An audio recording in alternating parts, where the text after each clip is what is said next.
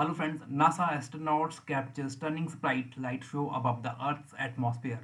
A NASA astronauts aboard the International Space Station, that is ISS, has captured a stunning image of glowing red light in the Earth's upper atmosphere.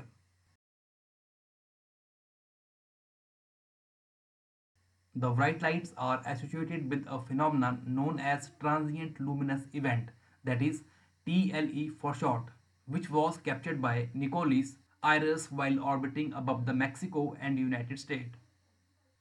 Sprites are a type of TLE that is transient luminous event which create brilliant flashes of light high above the powerful thunderstorms and are difficult to observe from ground.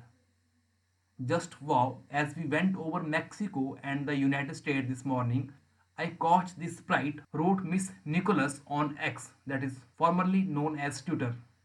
Sprites are TLEs or transient luminous events that happen above the clouds and are triggered by intense electrical activity in the thunderstorms below, she added.